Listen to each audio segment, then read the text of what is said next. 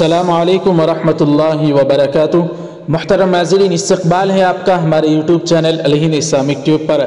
ناظرین اکرام، ویڈیو کو شروع کرنے سے پہلے آپ حضرات کی خدمت میں ایک خوشخبری یہ ہے کہ بہت سارے ساتھیوں کا اصرار تھا کہ بھائی آپ ایک واٹس اپ گروپ بنائیں۔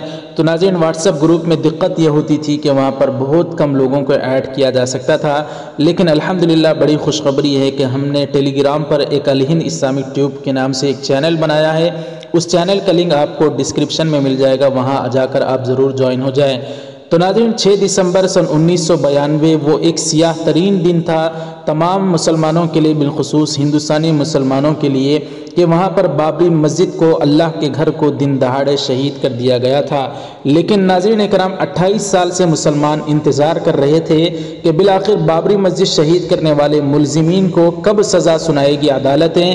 لیکن ناظرین، کل تیس ستمبر ایک اور اسودین اویسی کے بقول، ہمارے لیے سیاہ دن ہے، کیونکہ وہاں پر بابری مسجد کے تمام ملزمین کو سی بی آئی لکھنؤ کی عدالت نے بری کر دیا ہے۔ اب اسی پر ناظرین اکرام، کویت کے وکیل مجبل الشریکہ جو پانچ اگست جب بابری مسجد کی جگہ پر رام مندر کا نرمان تھا، اس وقت سے یہ مانگ کر رہے ہیں تمام مسلمانوں سے اور انڈیا مسلم پرسنل بورڈ وغیرہ سے کہ وہ بابری مسجد کا فیصلہ عالمی عدالت میں لے جانے کی انہیں اجازت دیں۔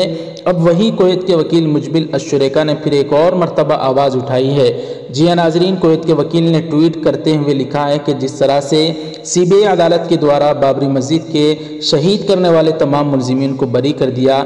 میں ہندوستانی میرے بھائیوں کے ساتھ ہوں، اس طرح سے ٹویٹ کرتے ہوئے لکھتے ہیں کہ میں ایک اور مرتبہ آپ تمام مسلمانوں سے یہ اپیل کرتا ہوں، درخواست کرتا ہوں کہ آپ میرا ساتھ دیں تاکہ میں بابری مسجد کا فیصلہ عالمی عدالت میں لے جا سکوں۔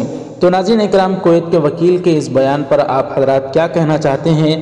ہمیں ضرور کمنٹ کر کے اپنی رائے کا اظہار ضرور کریں۔ تو ناظرین، ٹیلی گرام چینل پر آپ حضرات ضرور جوائن ہو جائیں، اس کا لنک آپ کو ڈسکرپشن میں مل جائے گا۔